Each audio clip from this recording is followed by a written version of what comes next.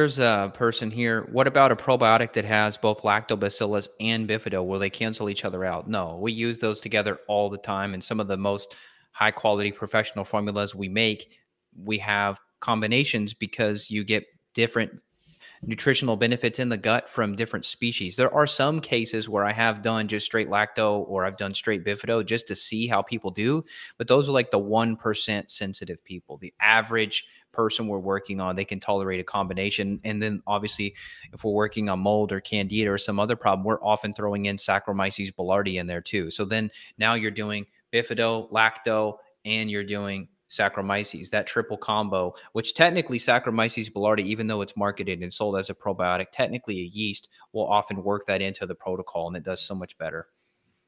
Yeah, 100%. Evan, what's your experience using spore based probiotics? You know, they give me just terrible gas. My God, it just hurts my tummy. I've tried them. I went on them. I went off of them.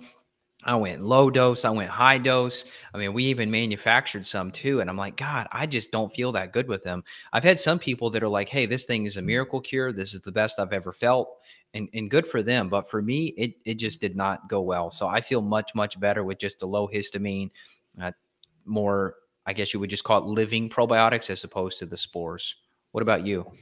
Yeah, I mean, it just depends. I think patients that don't do well with your lactobacillus bifidobacter, I definitely have a good bunch that, that do better with the spore-based probiotic. So depending on the level of SIBO that's going on, some patients do really great with it. I have no problem myself with higher dose bifidobacter, lactobacillus, infantis species. So I don't have a problem with it.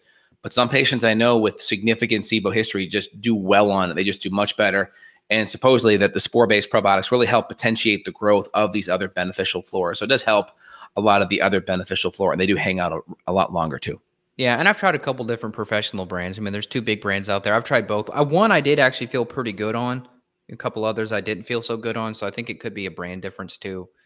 Uh, there was another question here. When's the best time to p- take probiotics with fiber or empty GI? I don't know the whole with fiber deal. I've never heard that before. I personally take them on an empty stomach and I'll do them first thing in the morning, like before breakfast. I'll just pop all my supplements or I'll take them before bed, unless I'm taking a binder, then I won't. My, my thought on it is try to get the bacteria in there, especially because some of the professional manufacturers you and I use, we're using an acid resistant capsule. So it's actually going to bypass the stomach acid and deliver the beneficial microbes to the gut. So in that case, that's why I like it to be there. Just because there's not as much competition with the food, could just